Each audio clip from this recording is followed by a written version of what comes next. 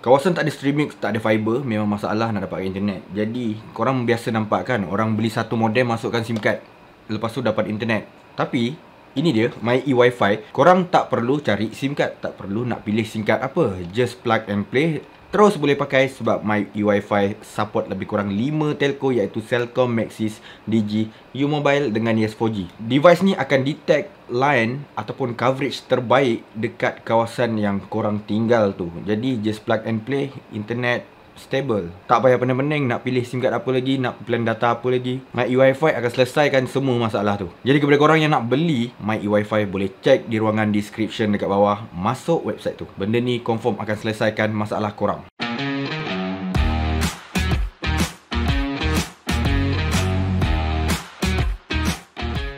Okay, ini cabaran pertama ya sebagai seller SIM card on offline, jual secara offline aku ada jumpa lah ha, beberapa orang yang jenis malu jual SIM card. Jadi kita sebagai YouTuber, ha, kita cuba jual SIM card secara offline dan aku sekarang berada dekat Bandar Pontian dekat Tambak ni. Aku akan pergi ke setiap seorang ni. Kita jumpa cari orang-orang tengok macam ramai kan. Ha, ada orang lepak-lepak ni kita promote SIM card yang kita jual ni. Ini kita panggil kerja offline lah. Kita nak tengok keberkesanan dia. Jual secara offline dengan online mana lebih berkesan mana lebih shock mana lebih best. Ok kita start sekarang. Macam korang nampak ni lah. Aku baru buat foto stat di fotokopi ni aku buat sendiri. Ha, macam ni DG Tonwal Selcom Red One. Ha, belah sini belakang ada bahagian-bahagian Maxis lah phone bundle jadi benda ni aku akan gunakan untuk pergi ke tempat awam. Aku nak bagi setiap seorang flyer Sebab tu kita nak semang-semang sikit Kita grab satu customer. Dan kita tengok macam mana Jual SIM card secara offline ni Adakah ia lebih berkesan daripada online? Sekarang ni dah ada dalam lebih kurang 4 kelompok lah. Ha, Family-family Aku promote produk ni. Setakat ni belum ada yang tahan aku untuk bertanya lebih lanjut Ataupun nak terus beli. Tapi korang kena tahu Itu bukan penghalang. Berniaga tak sepertinya untung cepat tak semestinya terus jadi. Kita kena langgar kita kena konsisten straight. Kita sambung kerja lagi. Sekarang ni dah dah sampai ujung daripada oh, jauh jauh juga berjalan ni. Ada dalam sekarang ni dah 6 6 7 set family. Aku tak tahu nak panggil apa. Set. Bolehlah kita panggil 7 family ke 8 family itu lebih kurang. Tengok hari ni tak ramai sangat. Walaupun hari cuti hari ni hari Ahad. Hari pertama aku buat offline ni. Kejap lagi nanti aku mungkin pindah ke tempat lain lah Ha, ini kawasan kita panggil seaside tambak. Ha, kebanyakan orang Pontian panggil tambak lah. Kalau korang nak tahu, ni kawasan Pontian. Nanti aku nak pergi ke bahagian seaside. Okay. Jadi kita pindah lah kalau dah tak ada orang. Ni dah sampai penghujung tambak ni. Eh. Dia dah masuk bahagian JT-JT ni. Dekat sana aku malah nak pusing sebab macam panas terik sangat. Dekat sana ada macam kawasan kedai-kedai tu pun ada orang juga. Tapi macam tak best. Jadi aku nak pindah ke kawasan seaside lain. Baru habis satu tempat tu Kita nak pergi ke tempat lain. Aku rasa kalau benda ni aku buat sebulan Confirm kurus. Perut aku ni besar guys. Mesti kurus ni Kalau berjalan macam ni hari-hari. He, Panas yul. Tapi nasib baik Sekarang ni tak panas terik. Cuma aku ni kuat berpeluh sikit lah. Aduh. Okay Kita bermula dari, daripada sini tadi. Aku terus ke sana. Sekarang ni Aku tak pindah dulu. Dia ada dua side. Satu side Satu side. Sekarang ni aku dah pergi sana sekarang ni kita pergi sini sebab kita nampak ada sedikit uh, orang. Walaupun tak ramai tapi kita kena cuba. Kita langgar juga.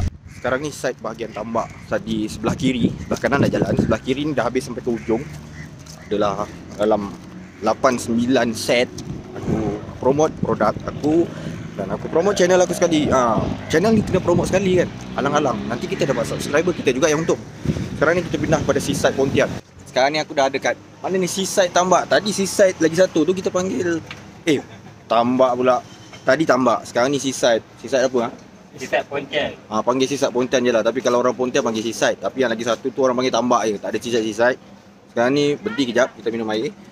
Air mata kucing, harga RM2. Mahal ke murah? Murah kan? Support. Bangsa Melayu punya gaya. Ha, ni budak-budaknya. Korang boleh beli air. Apa yang best air korang ni cakap? Ya. Coklat kau bang. Ha. Coklat kau bang. Coklat kau. Ini paling kau bang.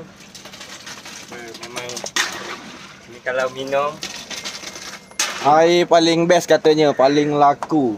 Tapi aku tak boleh minum air coklat macam ni Sebab nanti kau tengok duduk jamban ni. Sekarang ni kita sambung Langgar kawasan ni. Macam tak ramai tapi Tak pula sikit-sikit pun Kita buat kerja juga kan. Sekejap lagi aku update lah Macam mana berapa ramai.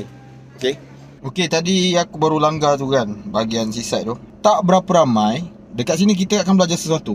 Timing. Timing kena cantik. Waktu ramai dekat seaside ni kat Pukul berapa? Of course lah petang-petang Rekreasi. Orang pergi berjoging Orang lepak-lepak dengan family. Lagi hari Ahad macam ni Mesti ramai. Tapi aku tak tahulah Sebab kawasan Kawasan pula. Waktu-waktu pukul 5 ke atas ni Aku busy sikit tau. Ha, Lagi busy kat studio ke entahlah. Tengok macam mana Lain hari kita akan buat juga. Kita kena konsisten dan terus buat. Bukan satu hari buat Tak ada customer. Kita terus stop. Benda ni Set hari hari hari hari hari. Macam mancing ikan. Kau boleh confirm ke Kau mancing ikan Dekat situ terus dapat ikan Tak. Dia sama je lebih kurang. Setakat ni aku ada masalah sedikit Masalah di mana Aku tak nak uh, Kita cakap langgar. Aku tak nak langgar Customer yang tengah makan Dekat meja makan. Aku tak tahu kenapa Tapi kalau nak diikutkan kan Kalau kita tanya orang-orang Boleh tak ada masalah. Asal kita agak-agak okey masuk Pelan-pelan cun-cun Sopan-sopan Orang terima. Cuma Jangan ambil masa yang lama lah. Waktu orang tengah makan tu kau nak cerita pasal produk kau. Memang tak boleh masuk punya. Kemungkinan besar kita cerita je lah. Ha, Suruh ambil nombor telefon ke apa kan. Kita jual produk ni produk ni. Lagi satu yang buatkan aku tak nak langgar orang tengah makan dekat meja ni disebabkan aku seorang yang tak suka diganggu ketika makan. Aku cukup pantang, tak kira lah peminta sedekah ke, minta derma ke, nak jual produk ke, aku cukup pantang kalau aku tengah makan dekat meja dia datang dekat aku nak promote benda tu. Sebab waktu makan tu bagi aku waktu yang paling bahagia. Kau jangan kacau aku. Aku nak fokus dengan makan aku. Tak tahulah macam mana eh. Sekarang ni situasi waktu petang dekat tambak. Aku sambung lagi. Tadi aku balik rumah kejap makan. Lepas tu tidur disebabkan hujan. Sekarang pun masih hujan macam gerimis-gerimis sebenarnya je. Tapi boleh jalan lagi. Tak apa kita langgar je. Ni sekarang kat kawasan penghujung tambak ni. Ha, yang tadi pagi aku ada cerita kan. Dia penuh dengan jeti. Kalau nak diikutkan kat tepi ni selalu ada ramai orang lepak tau. Ni disebabkan macam start renyai. Tak ada orang lah. Kereta ada tapi dia orang lepak dalam kereta. Sana pun ada tu sampai lorong-lorong kat batu ni kan. Ha, depan tu Pulau Pisang kalau korang nak tahu. Pulau Pisang ni aku tak tahulah. Dia kata bentuk macam pisang. Aku tak tengok pun tak nampak pun macam pisang. Nampak macam mayat ada lah terbaring. Kalau siang tadi aku cerita aku dekat kawasan tam, uh, kawasan mana? Seas, seaside Pontian. Daripada tambak ni kita boleh tengok seaside Pontian dekat sana je ni. Okey, sekarang ni aku masih dekat penghujung tambak ni. Pusing sampai ke ujung tu. Sekarang ni aku terjumpa satu geng motor ni. Dipanggil Road Runner 10 Road Runner 105. Road Runner 105. Siapa nak join? Ah. Motor yang lebih kurang macam ni bentuknya. Aku tak tahu tentang motor korang boleh tengok ni. Motor apa ni? Ha, okey tengok. Sekarang ni ini orang-orang kuat dia lah. Kalau korang peminat grup-grup motor yang berkaitan ha ni. Tengok tengok. Boleh join, tak ada masalah. Okey. Apa Facebook bang? Kemas, kemas. Ada Facebook tak? Ada ada Facebook Puji Parah. Poji Barah lagi siapa nak promote Facebook? Ha. Bukan Poji demam eh. Bukan, bukan. Nak cakap apa? Ah ini 606. Ni telefon kau. Kau nampak tu? Nampak?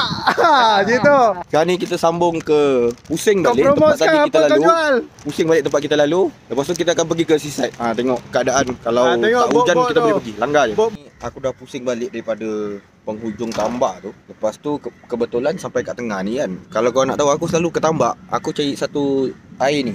Apa nama? Teh teh ais kau bang. teh ais kau. Bon bon.